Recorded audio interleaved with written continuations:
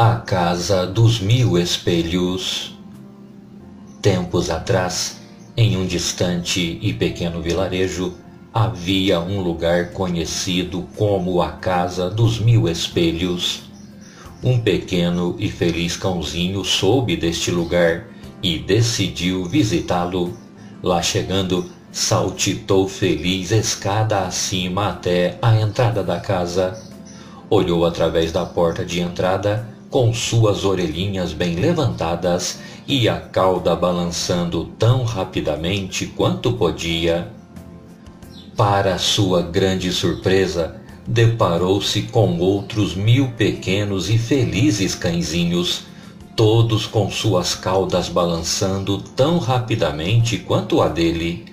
Abriu um enorme sorriso e foi correspondido com outros mil enormes sorrisos.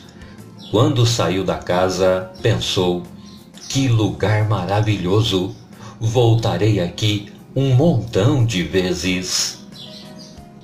Neste mesmo vilarejo, outro cãozinho, que não era tão feliz quanto o primeiro, decidiu visitar a casa.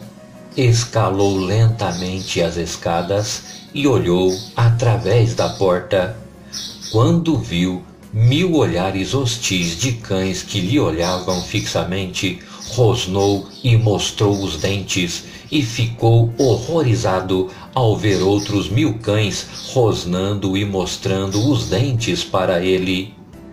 Quando saiu, ele pensou: que lugar horrível! Nunca mais volto aqui. Todos os rostos no mundo são espelhos.